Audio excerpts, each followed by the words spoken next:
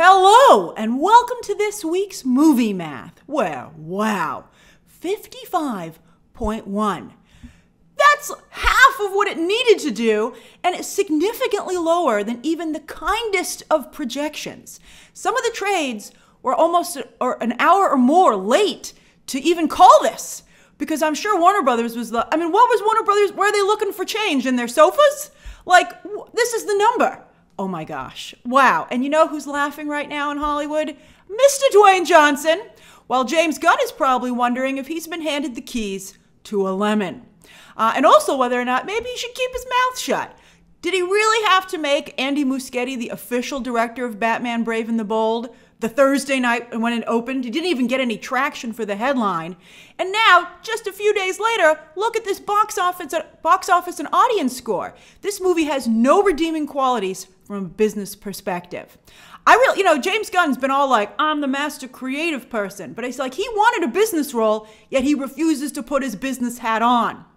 Uh, and also, James Gunn was like, Blue Beetle is the first official character of the DC universe that I'm building.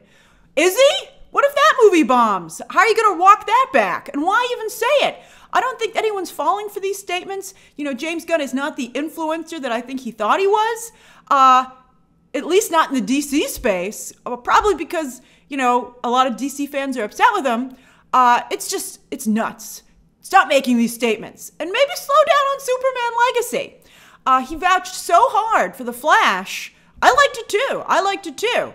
But then it got these results. Gunn has got to be nervous that maybe he doesn't get DC as well as he did Guardians of the Galaxy. I mean, the least he can do is spread around the uh, the liability. He's taken full responsibility for Superman Legacy. The last time someone did that in the DC space, it was Patty Jenkins. And look how that turned out. Oh, I know. James Gunn fired her. Or, oh, they parted ways. Oh, she's busy right now. She's not going to do this movie forever.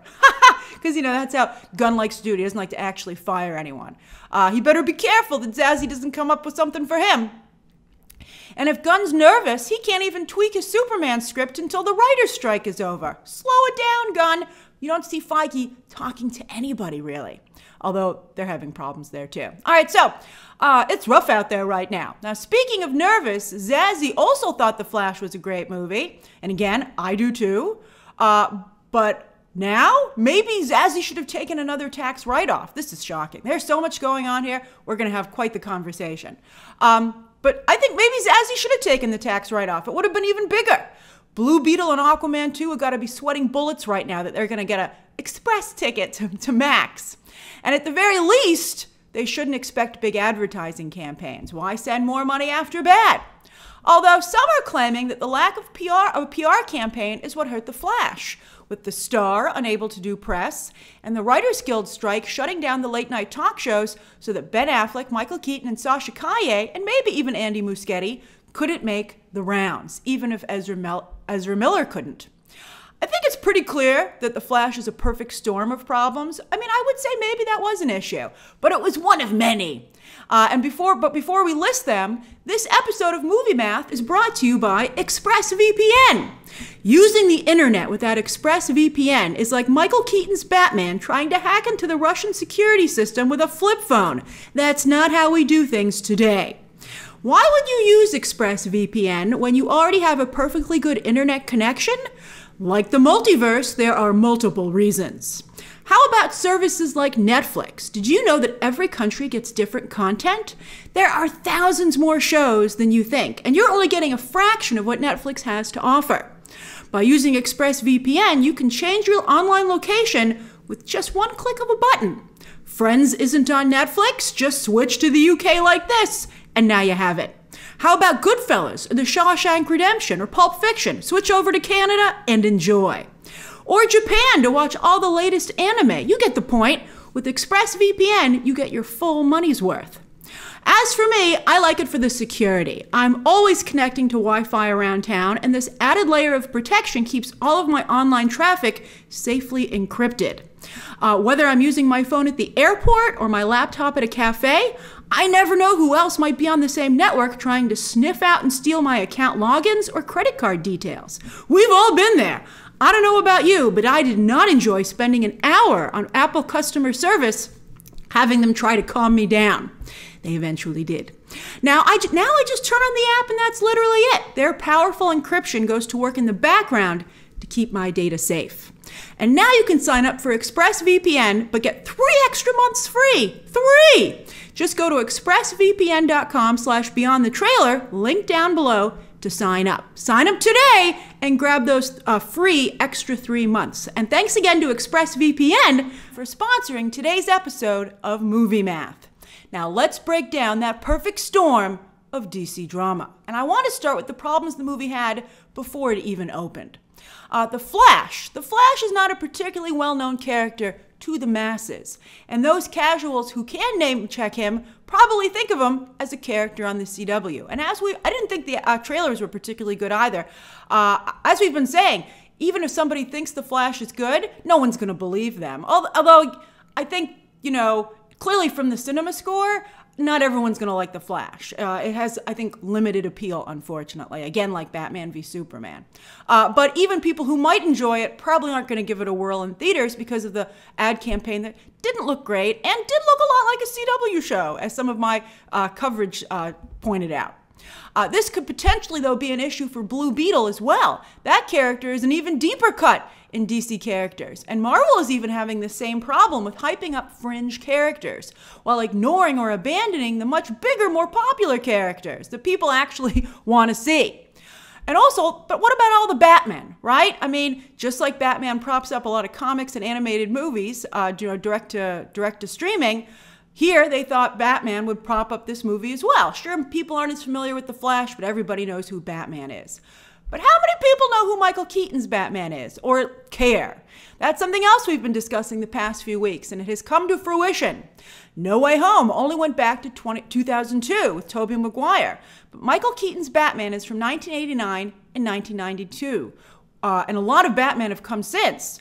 Way fewer people feel nostalgic for his version of the character. Indiana Jones, whose last good movie also came out in 1989, looks to be having the same issue. It's just too far back. Had Christian Bale been the Batman of this movie? Good luck. But if he had, that would have probably had more of a no way home effect. This is why Deadpool 3 is very well uh, positioned. X Men The Last Stand came out in 2006. Uh, it was uh, the first, the Fox X Men were contemporaries with Tobey Maguire's Spider Man. So it's got that going for it, right? And of course, they've been making Deadpool movies for a while now and Wolverine movies with Hugh Jackman. His last one was just in 2017, so very fresh in people's minds still. Then, early screenings. Oh, we thought this might bite them in the butt, and bite them in the butt. It has. They had so many early screenings uh, that some people saw it multiple times in early screenings. I know some of you did uh, for free. Heck, even a lot of the press got to see the movie early at CinemaCon in April. Freaking April. Sony kept that No Way Home close to the vest. And that way it exploded when it finally hit the box office. Now, some people are saying, what about all the leaks? Even the Muschiettis are claiming the leaks are what did them in. But, you know, no dice. No Way Home was the leakiest movie ever. In fact, it was the first truly big leak movie. But Sony did not, nor anyone associated with No Way Home, confirm any of those leaks. Whereas Andy Muschietti and company confirmed multiple leaks in advance of release and really had no choice because, again, they started showing the film to press and fans starting in April, who, and fans, you know, fans aren't, uh, you know, press and critics will pay attention most of the time to an embargo. But fans, they just put all that stuff online. They don't care. They, they're not. They don't have any responsibilities. Showing a movie early to fans is extremely risky, especially if it has spoilers in it. Although I will say that I feel pirated clips online and social media uh, are out of control for many movies, especially movies that have a hate campaign against them. And there are some that are motivated for it to fail, both in uploading the clips and watching the clips. Quantumania, The Little Mermaid, and now The Flash, I think, were all targeted to this degree and suffered considerably. You can see almost the entire movie, certainly the big momentous moments online, even if you're not looking for them. That's how, I mean, it used to be you had to dig for this stuff. Now it's like floating to the top uh, as, you know, because it gets clicks. Ezra Miller. I do believe Miller kept a significant number of people from seeing this film. Some more liberal moviegoers were likely put off by Miller's breakdown and the accusations against them, while some more conservative moviegoers, especially in today's unfortunate and tragic political climate, weren't likely to support an LGBT lead. Uh, so I think that that probably had a big effect as well. Then, superhero fatigue mixed with multiverse fatigue. Even hardcore fans like myself are like, I, can't, I don't know how many more multiverse stories I can take. Yep, there are too many superhero movies and shows, so much so that they all are starting to blend together. And even superhero adjacent films like Transformers contributes to this problem because they all are borrowing from each other and they're all kind of cut from the same cloth. Particularly to normies, you know, mainstream moviegoers who aren't really into these IPs originally but like the movies. They're like, every movie's the same. No Way Home, Multiverse of Madness, Spider Verse, and The Flash are all very similar stories. Spider Verse and The Flash coming out two weeks apart. I tweeted that after I saw Spider Verse. I was like, "What? It's all very simple." I think I think they play differently, but you know, I'm a hardcore fan. I'm used to reading a lot of comic books simultaneously. I can differentiate, but a lot of people have not trained their minds to do so. Let's hope that there are no more multiverse stories coming up, with the exception of Loki season 2 and What If season 2. Come on, Marvel, chill!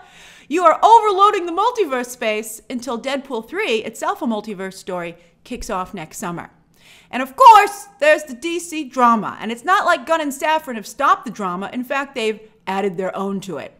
Uh, it's made some fans absolutely hate Warner Brothers and DC, while a lot of other people are just sick of all the drama and want out which leads to problems. Let's now discuss problems with the film now that it has opened. And as I said, it turns out a lot of people genuinely don't like it. A B cinema score is a disaster. A lot of you sometimes will be like, I'd be happy with a B on a test. Not if you were trying to like have a, you know, here's the thing.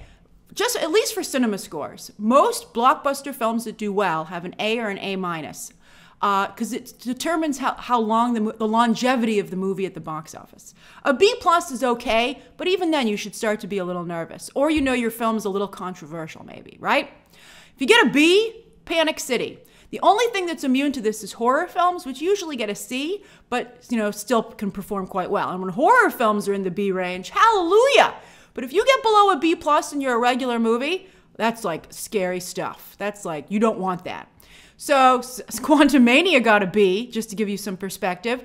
But so also did Batman v Superman. So I feel The Flash is more of a divisive film, uh, which some people loved and some people hated, and some people felt meh about. But you can't argue, like James Gunn and David Zaslav and Tom Cruise and Stephen King tried to, that everyone would love it. Uh, you know, it's like what I did when I saw Batman v Superman. I was like, I love this movie, but I acknowledge that a lot of people do not. So, what do audiences want from a DC movie? I'm sure that James Gunn is. Pro- I mean, if he's had, if James Gunn was smart, if he had any self-awareness and was willing to, he'd be asking himself that right now. He'd be having, emer- be having an emergency meeting. So, uh, what do audiences want from a DC movie? We know pretty much what they want from a Batman movie, by the way, and this isn't it. So, Oh, once again, why is Andy Muschietti directing Batman Brave and the Bold? I'm like, they want it like Nolan and Reeves. That's what they want. And Phillips, they don't want this bright, happy Batman. They've said no. But what about DC overall? Are people even interested in DC stories? I mean, they were for a, for a little bit there, right? Is, but is the brand so damaged at this point with all of the problems? Is it beyond repair, or what would it take to repair it? I don't think just throwing more movies at the wall is uh, is working. They're all sliding down. It's so so awkward to watch. On the one hand, I think the drama has turned off casual fans. They don't know what's happening with the characters. They don't even know who's playing the characters at this point or what's happening with the brand overall. There's been no clarity. And as I've been saying, they should have done a hard reboot. It just makes it more confusing uh, and not really feel like it's anything different, really. Uh, and then when it comes to hardcore DC fans, once again, where are you when the box office opened? Uh, plus, though, the DC audience remains incredibly fractured. DC loves to experiment with its characters in different spaces, but the result is they have so many different versions of the characters, and the fandom is therefore spread out. Whereas Marvel is pretty much, for better or worse, on the same page with everything. I mean, they've even ruined their comics over at Marvel to make sure the MCU is what they pay attention to. Although, Marvel, having plenty of problems. Plenty. Watch my uh, Secret Invasion interview uh, that went up yesterday. Uh, but yeah, if you make one part of the fandom of DC happy, you probably upset all the other ones. So it's a mess. I'd also like to add on this note that this, this, is, this is for Secret Invasion as well.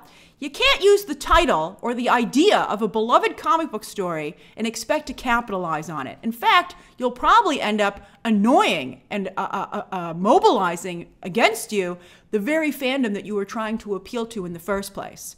Sure, Civil War made a lot of changes, but the core of the story remained the same Captain America versus Iron Man, heroes divided. And yeah, the Flash movie isn't called Flashpoint, but it's clearly based on that comic. Hollywood creatives, if you want to tell your own story, get your own title. At this point, I honestly believe that the main DCU should just take a break, like Star Wars, but still continue with the Batman and Joker too. I don't even know why they're making Batman Brave and the Bold when they have a Batman 2 coming up. I mean, that's ridiculous. Uh, I'm thinking maybe a five year break. They might need that much time. What do you think? I mean, I mean, with the casting choices that Gunn is considering, he's apparently been auditioning them this weekend. Can he really move the needle with those actors? Or, like The Flash, is he making the most expensive CW episode ever? I think that might be what's happening. Uh, but hold up, these days we don't just have DC drama anymore, but we also now have Disney drama. Oh my goodness, this is this is so bad as well. And while Elemental has excellent audience scores, great movie, loved it. Uh, and as you can see, most people loved this movie. But look at this box office. Ah, oh, so does, this doesn't even have a three in front of it. So much for Pixar proving they deserve theatrical releases. This is an even lower debut than Lightyear, which was a disaster. And Onward, which opened right at the beginning of an actual disaster in, in real life, like the world that mattered, the pandemic. In fact, it's even worse than Peter Sohn's first Pixar movie, The Good Dinosaur, which was considered a bad opening weekend. Elemental de- Elemental's debut is, is, is in fact tied with the very first Toy Story, which opened in 1995, so you know inflation, for the lowest Pixar opening ever. Oh my gosh. On a more positive, or at least hopeful note, Elemental's debut is in line with Encanto's, which of course went on to become a phenomenon on Disney Plus. Although a big part of that was the music, and Pixar doesn't do musicals. Disney live action apparently doesn't really do musicals either anymore. Uh, they kind of do, they do. Uh, but you know, I think music, Disney, music's a big part of Disney, and they, they should embrace that more. But anyway, anyway, like like with Encanto, will Elemental get a reprieve on Disney Plus? I think it could, but I, I, I, I don't feel strongly about it. But I mean, I hope. Uh, and has Disney, though, trained a large number of its fans not just to watch Pixar movies on Disney Plus, but all Disney movies on Disney Plus? If you wait about three months, you can basically watch the movie for free. And if it's a box office bomb, even sooner. In fact, when these movies weren't doing well over the weekend, some of you tweeted back to the replies to my up, my updates on Twitter. Yay, this means it'll be on streaming faster. Also, like the superhero marketplace, animation is getting crowded and competitive. Audiences just turned out in huge numbers for Super Mario Brothers and Across the Spider-Verse. Meanwhile, here comes Elemental, a totally unknown IP. So much for all of you saying, you know, um, uh, people were like, oh, we want more uh, uh, lighthearted DC. It's too serious. Oh, here you go. Oh, you don't want it. Oh, we want more original stories. Here you go. Oh, we don't want it. What? Um, so it's a totally unknown IP. Uh, uh, Super Mario Brothers is, of course, based on the legendary Nintendo video game, while Super uh, Spider Verse itself, the sequel to a film that did not do well, but now it's a sequel after having built a huge audience on where streaming. So streaming sometimes is quite helpful. But uh, Elemental is a, a far less aggressive, quieter, and simpler film, and it's going up against Spider Verse, which is just in its third weekend. It doesn't even have the animation audience all to itself. Audiences might genuinely be interested in watching Elemental. Is it on your to watch list? But not in a theater at today's prices, especially since they know it'll eventually trickle down to Disney Plus, again, at no extra cost. This is why Bob Iger greenlit Toy Story 5, Inside Out 2, Frozen 3, and Zootopia 3 for theaters. That's gonna move the needle. But where is The Incredibles 3? What else are you doing, Brad Bird? I'll tell you, he's doing nothing. Make Incredibles 3.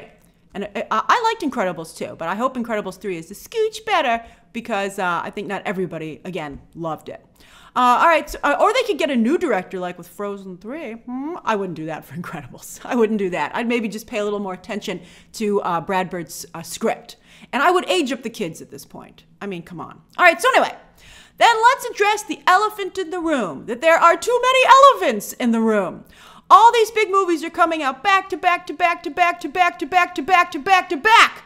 There's no room to promote them. There's no room to discuss them. There's not enough premium screens to support them. The great premium screen bottleneck of summer 2023 is coming up fast. I tweeted about this yesterday with Mission Impossible, Oppenheimer, and Barbie all competing for premium screens, which could end up leaving Barbie with no premium screens. And it's hard for any of these movies to have staying power. If you miss it, uh, if, uh, thanks to the overcrowded marketplace and the safety net that digital and streaming now provide, if you don't see these movies opening weekend, a number of people go, heck, at this point, I might as well just wait for digital or streaming. And I mean, where you have a lower price point and you can own the film, particularly with the digital release, if you don't want to wait for no extra cost. And on that note, as for the other movies in the marketplace right now, fighting it out, here's the rest of the top 10. Spider Verse is still going strong, at least domestically, with again Elemental doing no real damage. This sequel is nearing 300 million domestically, which will make it only the third movie of the year to cross that mark so far. Oh, that's good. But here's something bad both Transformers, Rise of the Beasts, huge second weekend drop. Oh, maybe they won't make that other movie. And The Little Mermaid will not reach, they won't even reach it, much less surpass 300 million domestic. The Blackening also hit theaters this weekend, hoping to capitalize on the Juneteenth holiday weekend. And it did okay. It did okay. Uh, but it had a very good cinema score for a horror film, and it was also able to expand its appeal a bit beyond the black audience. So that's all very promising for when it hits digital and streaming later on. As for Asteroid City in limited release, just six theaters and Wes Anderson's sweet spot New York and Los Angeles. Uh, the movie had a very strong per theater average, but a horrible audience score on Rotten Tomato. It hasn't gotten a cinema score uh, just yet, and it might not. Uh, the French Dispatch. Wes Anderson movies don't always get cinema scores.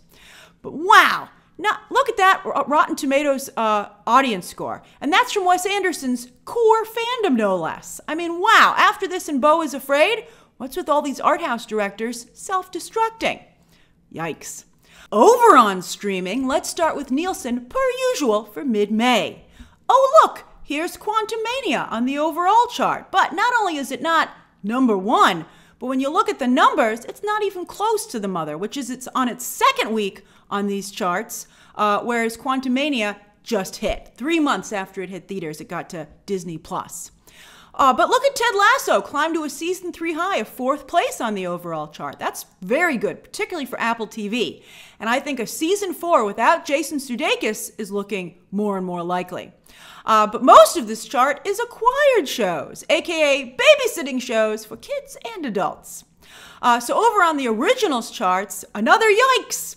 These numbers are bad. Whew! The streamers definitely dropped the ball in May with not enough new content, although maybe that's because they're slowing themselves down to better pace themselves because of the Writers Guild strike. So they're spreading, spreading out their content. Uh, and with its second uh, to last episode over on the acquired chart, Succession rose a bit, just a bit, but it's it's up a little bit. I'm I'm curious to see what happens with the season finale next week on next week's charts. While on the movies chart, nothing big happening here either, although it is at least nice to see Dungeons and Dragons on Paramount Plus and air on Prime Video place, even if again, their numbers are just so low. Uh, with Netflix's own charts for just last week, ooh, we've got a new number one as the mother finally dropped after um, after four weeks at number one to fourth place. Uh, a, a, lot of acquired movies this week, though, instead of Netflix originals. Again, perhaps because they've slowed down due to the writer's strike, their, you know, their releases. As for shows, though, there's some good activity here. Netflix did drop the final season of Never Have I Ever, which is doing pretty good, although you can see why it's ending. Uh, same for the final episodes of Manifest. But here's this is cool. Uh, if you're an Arnold fan, Ar- uh, Arnold's Fubar and his documentary. So he's got a one-two punch here are both, you know, doing very, str- I wouldn't say very strong, but strong numbers. But potentially he's found a home at Netflix. Uh, I wouldn't be surprised. Well, I'm wondering when they're going to announce Fubar season two. I'm sure Arnold is expensive though, so that might be a bit of an issue. Uh, and there's no cut to give. That's interesting. There's no cut to give him because there's no uh, on streaming like Netflix. There's there's no money that's made past the initial deals. Hmm, no back end to help alleviate the the the uh, salaries. Uh, but you know, I, I wouldn't be surprised if they announced some kind of movie with him or something because you know it's it's working. As for iTunes, not a lot of surprises here either. Uh, a lot of recent theatrical releases or adjacent, like you know the first Spider Verse movie, uh, as a lot of moviegoers are now content to wait to watch at home.